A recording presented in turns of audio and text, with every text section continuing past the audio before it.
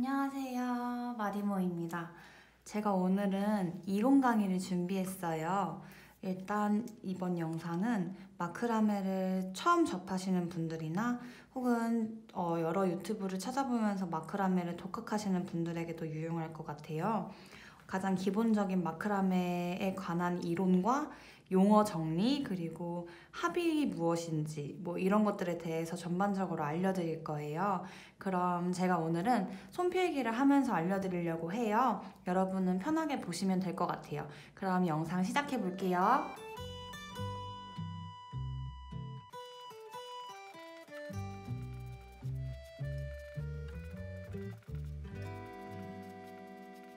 네, 그러면 알아두면 두고두고 유용한 마크라메 이론과 용어 정리를 시작해 볼게요. 먼저 기본적으로 마크라메는 실을 엮어서 모양을 만드는 매듭 공예예요. 그래서 서양에서는 발리에서 먼저 시작했다고 하는데 동양에도 이런 매듭 공예가 예전부터 있었어요. 그래서 아마 젊은 분들은 어, 머니 나이 또래 분들께 여쭤보면은 어, 우리 어릴 때도 그런 거 하고 놀았어 라는 말을 들으실 수 있을 거예요. 그건 동양 매듭이라고 하고 저희가 지금 하게 되는 이런 마크라메 끈을 가지고 면사를 가지고 하는 공예는 서양 매듭으로 불리는데 실의 재질이 조금 다르고 매듭을 이용해서 모양을 짓는 소품이나 느낌이 조금 달라요. 동양 매듭은 한복 저고리에 어울리는 그런 저고리 장식을 주로 만들었고 마크라메 서양 매듭은 월행같이 실내에 장식을 할 수 있는 용품을 많이 만들었는데 발리에서는 어, 바닷물에 떠내려오는 드래프트 우드라는 어, 바닷물에 휩쓸리면서 나뭇가지의 껍질이 자연스럽게 벗겨지는 우드를 사용해서 이런 끈으로 장식을 만들었다고 해요. 그래서 저희가 지금 하게 되는 마크라메는 서양 매듭에 가까운 마크라메이고요. 어, 마크라메를 하시면서 제가 동영상이나 기초 매듭법 강의를 할 때 자연스럽게 사용하는 용어들에 대해서도 함께 알려드릴 거예요. 먼저 마크라메는 매듭을 지어 문양을 내는 공예라는 뜻이고요. 네, 그래서 이 매듭을 어떻게 짓느냐에 따라서 여러 가지 매듭의 문양에 맞는 이름들이 있어요.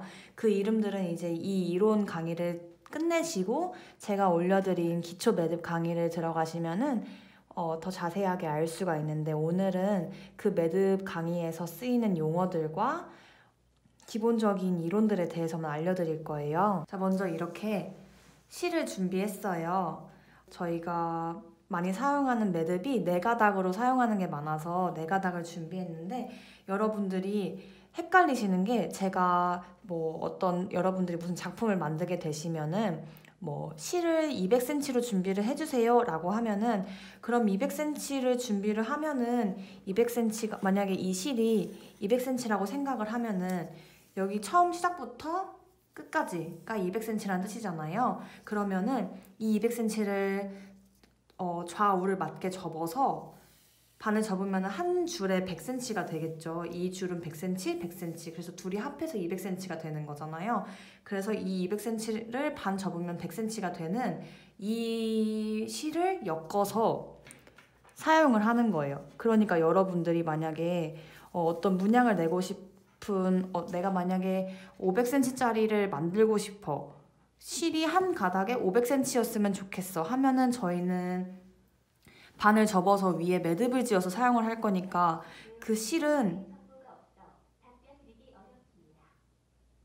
네 죄송해요. 제가 진이를 키우는데 진이가 가끔 저렇게 혼잣말을 해요. 다시 시작할게요 실은 1m가 되게 재단을 해주셔야 되는 거예요.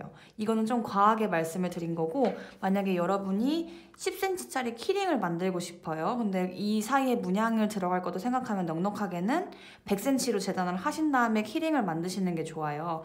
그러 100cm로 재단을 한 다음에 반을 접으면 50cm가 되겠죠. 그 50cm로 이제 매듭을 지으시는 거예요. 그래서 마, 그래서 다시 말하면은 여러분이 네 가닥이 필요하면은 실은 몇 가닥만 자르면 되겠어요? 두 가닥만 자르면 되겠죠. 두 가닥을 잘라서 반을 접어서 매듭을 지으면 밑에선 네 가닥이 되니까. 그래서 이렇게 기본 개념을 잡아주시면 되고 그래서 만약에 저희가 200cm를 잘라서 매듭을 지어주세요 라고 하면은 200cm를 잘라서 한 실당은 100cm의 길이가 되도록 해서 작업을 시작하는 거예요. 그렇게 아시면 되고 어, 지금 제가 위에 이렇게 한쪽은 종달새 매듭으로 매듭을 넣었고 한쪽은 역종달새 매듭으로 매듭을 엮었어요. 지금은 여러분들이 처음 이 강의를 들으시면은 이게 무슨 소리야 라고 생각하셔도 괜찮아요. 지금은 그냥 얘는 그런 매, 이, 얘 매, 이 매듭의 이름은 그거고 이 매듭의 이름은 그거야 라는 뜻이고 제가 지금 드리려고 하는 그 포인트는 매듭을 처음 엮기 시작할 때에는 둘 중에 하나로 매듭을 엮을 거예요. 그래서 이렇게 제가 아까 반으로 접어서 매듭을 만들어 주시면 돼요 할 때의 그 매듭은 얘 아니면 얘인 거예요. 그래서 여러분이 이렇게 매듭을 엮어서 사용을 한다라고만 알고 계시면 되고 매듭을 만들어주세요 하면 이렇게 신발끈 묶듯이 이렇게 매듭을 만들면 되나요? 한, 하는 생각을 하시는데 그게 아니라 처음 시작을 할 때는 우리가 신발끈 묶듯이 매, 묶는 매듭 같이 그런 알맹이가 없이 이렇게 자연스럽게 시작을 한다라고 생각을 하시면 돼요. 어, 모든 마크라메가 다 매듭을 만들어주세요 했을 때 이렇게 뭐 신발끈 엮듯이 이렇게 하는 매듭은 거의 하지 않고 어, 매듭을 만드는 것은 다 자연스럽게 문양을 내거나 어떤 역할을 하기 위해서 만들어주는 거예요. 어, 예를 들면은 이런 식으로 매듭을 지어주는 거예요. 어, 그래서 이렇게 매듭을 지어주면서 어, 문양을 내는구나 라고 알고 계시면 돼요. 네, 그리고 다음으로는 모양실과 기준실에 대해서 알아볼 거예요. 제가 매듭 강의를 하면서 어, 지금 이 강의에서는 물론 이 용어들에 대한 개념만 말씀을 드리겠지만 이제 매듭을 짓는 강의에서는 모양실을 잡아주세요, 기준실을 잡아주세요 이런 얘기를 많이 할 거예요.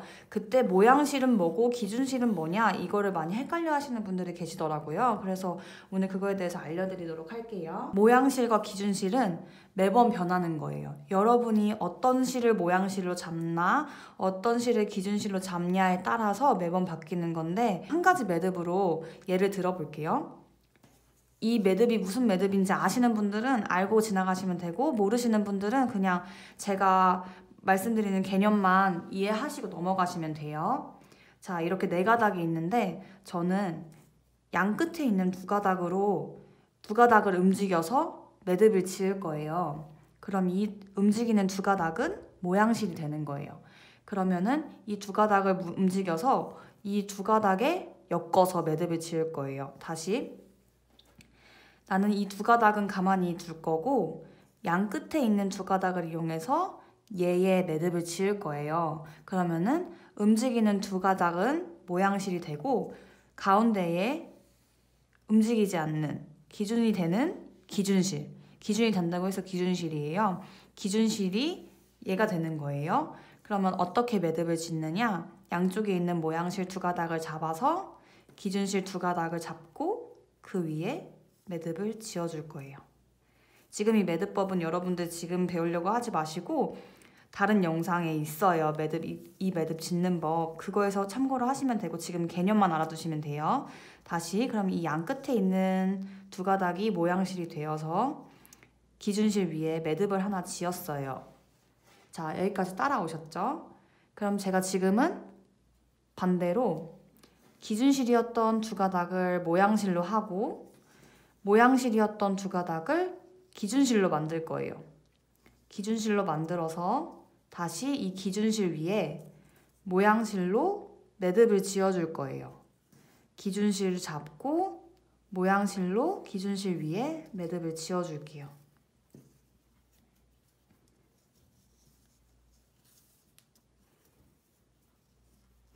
자, 저는 지금 모양실로 기준실 위에 매듭을 지었어요.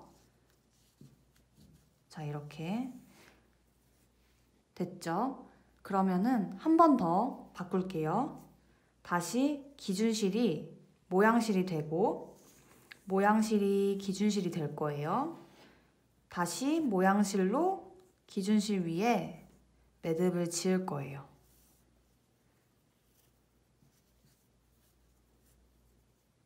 자, 여러분이 지금 여기에서 모양실과 기준실의 의미를 확실하게 알고 가시는 게 앞으로 두고두고 마크라메 영상을 하실 때 굉장히 큰 도움이 돼요. 여러분들이 지금 이 개념이 조금 어렵게 느껴지시더라도 지금 이 제가 매듭을 만드는 방법을 짧죠. 한 몇 분 안 돼요. 이 부분을 돌려보시면서 그래 저게 모양실이야. 저게 기준실이야. 음, 당연하지 라는 생각이 들 정도로 익숙해지신 다음에 넘어가시는 걸 추천드릴게요. 이게 정말 중요해요. 어, 중요해요. 자, 이번에는 맨 끝에 있는 얘를 기준실로 할 거예요. 기준실로 해서 모양실을 기준실 위에 감을 건데 기준실을 잡고 얘는 모양실이 될 거예요. 모양실. 모양실을 기준실 위에 매듭을 지어줄 거예요.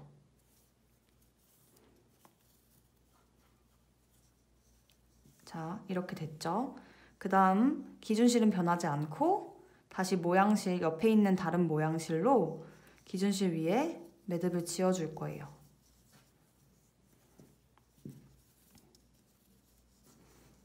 자, 모양실, 모양실, 기준실이죠. 기준실은 계속 변하지 않았어요. 마지막 한 번 더.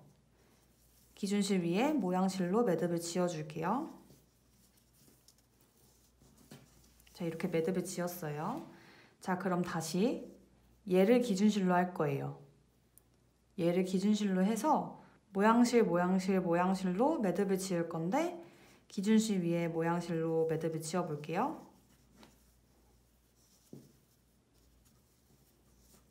매듭을 짓고 다시 옆에 있는 걸로 넘어가서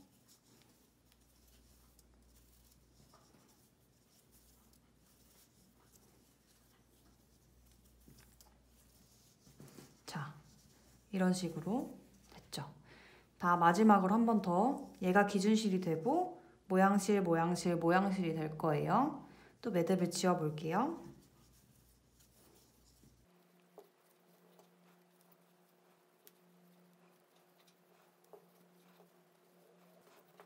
자, 이렇게 매듭을 지었어요. 저는 지금 한 단, 한 단, 한 단을 내려가면서 기준실이 바뀌었고, 한 단, 한 단 내려가면서 모양실이 조금씩 달라졌죠. 그래서 모양이 점점 옆으로 쏠리게 매듭이 지어졌어요. 이런 식으로 기준실과 모양실은 달라질 수 있다. 라는 걸 알고 계시면 되고, 다음으로는 이제 마크라메 물품에 대한 안내를 드릴 건데, 마크라메를 사용하는 이런 우드봉이 있고, 또 마크라메 실에는 어, 무슨 무슨 합 이라는 용어를 써서 마크라메 실을 판매를 하고 있어요. 이 합은 어떤 의미인가? 라는 걸 궁금해 하실 것 같아서 이 합에 대해서 알려드리고 마지막으로는 시작하기 전에 필요한 물품에 대해서 알려드릴게요.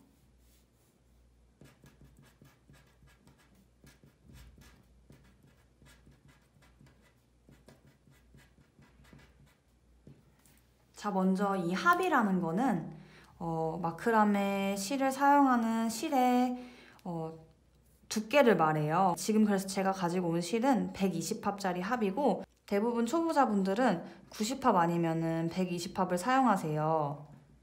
근데 그 이유가 뭐냐? 어떤 이유가 있으니까 이런 걸 사용을 하겠죠? 어, 먼저 120합은 3개를 엮은 거라 생각하시면 돼요. 뭐 4가닥으로 120합짜리를 만든 게 있는데 그러면은 4가닥 120 나누기 4를 하면은 30합이고 3을 하면은 뭐 그 정도의 실을 세 가닥을 꼬아서 꼬아서 만든 실이라고 생각을 하시면 되고 90합은 그럼 3을 하면 30합짜리겠죠. 그래서 90합이나 120합을 사용을 하시면 뭐 dreamcatcher 같은 거나 key ring 같은 걸 만들 때 이 실을 풀면은 풀 수가 있어요. 풀면 풀리죠.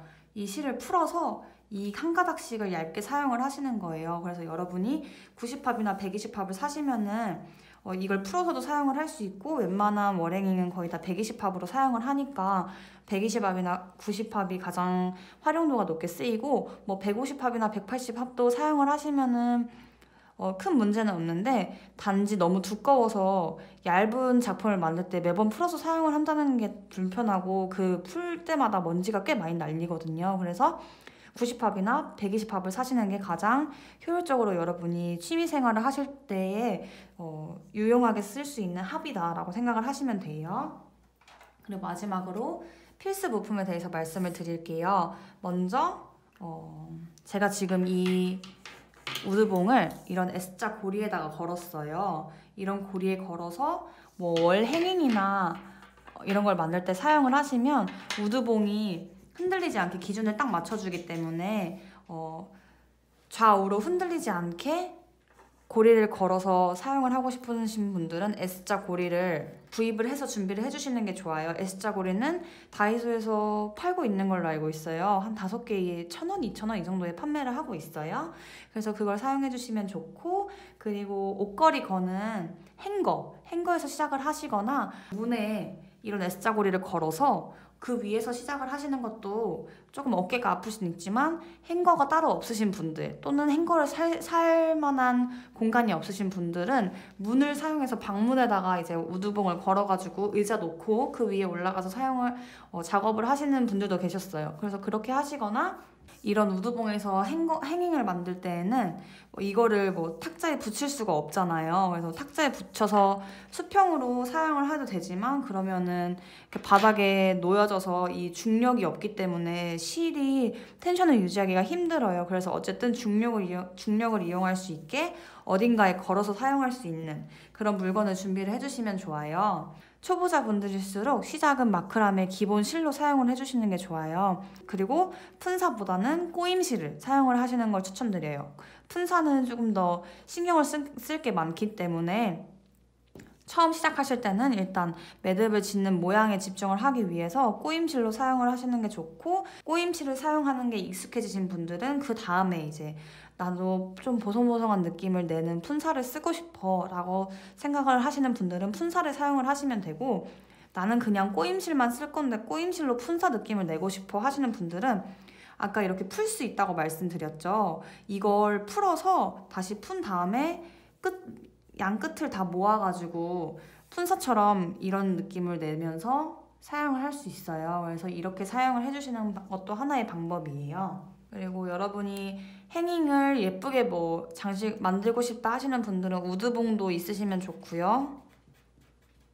근데 이거는 그냥 선택사항이에요.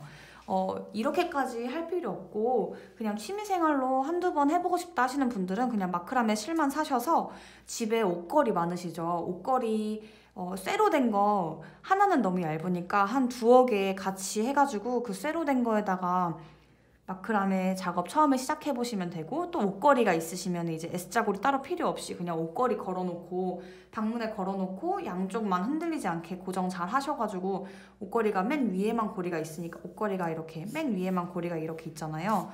여기에만 걸면은 좌우에 힘을 줬을 때 이게 왔다 갔다 흔들려요. 그러니까 옷걸이를 여러 개를 덧대어서 엮은 다음에 여기 양 끝을 잘 움직이지 않게 어떻게 고정을 좀 해주셔야 돼요. 테이프로 고정을 하거나 고정을 한 상태에서 작업을 해주셔야지 이게 좌우로 흔들리면 초보자분들은 더 만들기 힘들거든요. 특히 좌우로 흔들릴 때는 수평을 맞추기가 어려워서 이렇게 실이 있다 치면 모양을 이렇게 반드시 내야 되는데 좌우로 흔들리면 막 이렇게 들쑥날쑥해요. 이러면은 완성된 작품도 되게 안 이쁘거든요. 그래서 옷걸이로 하셔도 되지만 옷걸이로 하실 때에는 좌우의 수평을 잘 맞출 수 있게 미리 작업을 하신 상태에서 마크라메를 시작하시는 걸 추천드립니다. 그리고 먼지가 많이 날릴 수 있어요. 특히 실을 먼지가 많이 날리는 실을 잘못 사시거나 타레실로 사시는 분들은 타레실을 처음에 풀어야 되기 때문에 어, 그 푸는 과정에서 먼지가 많이 날 수 있어요. 근데 여러분 요즘에 미세먼지 많아가지고 집에 마스크 한두 개씩은 있으실 것 같은데 그 마스크를 꼭 쓰시고 하는 걸 추천드리고 특히 초보자분들은 묶었다 풀었다 하는 경우가 많기 때문에 마스크를 필수로 사용하신 상태에서 작업을 시작하시는 걸 추천드릴게요. 마지막으로는 어, 여러분들이 가장 간과하시는 게 있어요. 매듭을 만드는 법을 배우신 상태에서 작품을 바로 시작하지 마세요.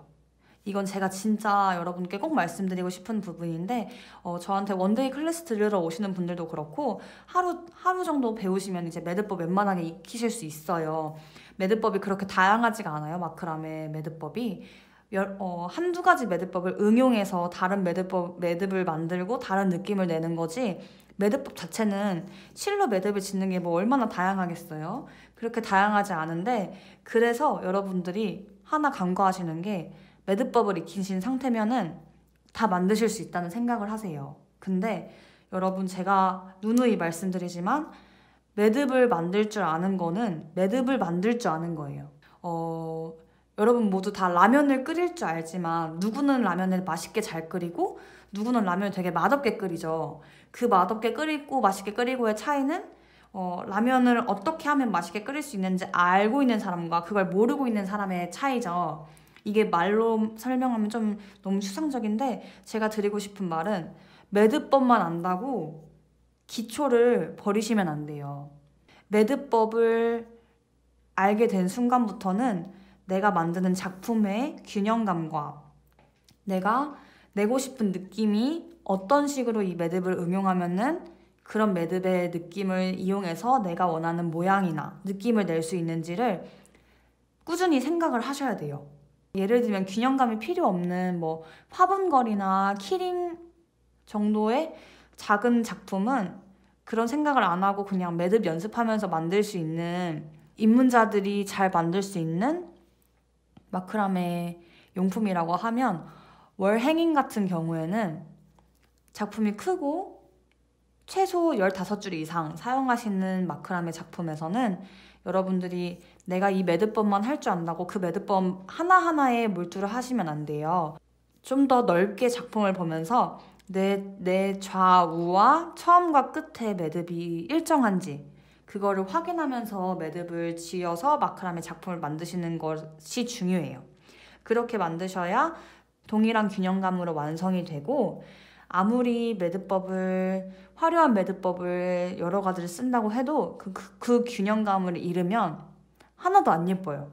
오히려 한 가지 매듭법으로 균형감을 완벽하게 유지한 작품이 훨씬 더 예뻐 보일 거예요.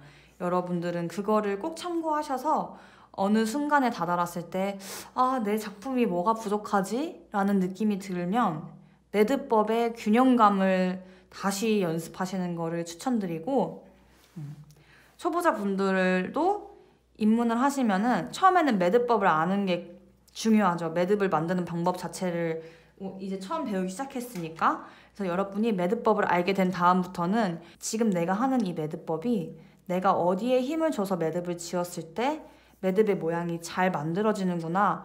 그거를 익히시면서 매듭법을 만드시는 걸 매듭을 만드시는 것을 추천드리고 그런 노하우가 생겼을 때 대형 작품이나 대형 월행잉이나 그런 작품들을 만드는 거를 추천드릴게요. 그 전까지는 어, 정말 내가 마크라메 재미가 붙어서 이제 좀 만들어 보고 싶다라고 하실 때는 기본 매듭법 두세 가지 정도 있어요. 작은 작품들 위주로 연습을 하시다가 그 이후에 이제 조금 더 월행잉이나 마크라메 네트백 같은 더 스킬풀한 게 요구되는 작품을 만드시는 걸 추천드리고 이 강의 이후로 어 제가 올려드린 평매듭, 기본 가마매기 매듭 같은 기본 매듭 만드는 방법 같이 공부하면서 마크라메의 매력에 같이 빠져보실 수 있었으면 좋겠습니다. 네, 여기까지 제가 준비한 알아두면 두고두고 유용한 마크라메 이론과 용어였고, 어, 여러분들이 필요하신 정보나 제가 만든 작품 중에 원하시는 도안이 있으시다면 제가 도안을 제작해서 보내드리진 못하지만 유튜브 영상으로 제작 과정을 찍어서 올려드릴 수는 있으니까 어, 댓글로 원하시는 거 있으시거나 궁금하신 점 있으시면 남겨주시면 제가 어, 최대한 답변 많이 달아드릴게요. 여기까지 제 영상이 도움이 되셨다면 좋아요와 구독 버튼 눌러주시면 감사드리고 어, 앞으로 자주 봬요. 네, 그러면 수고하셨습니다.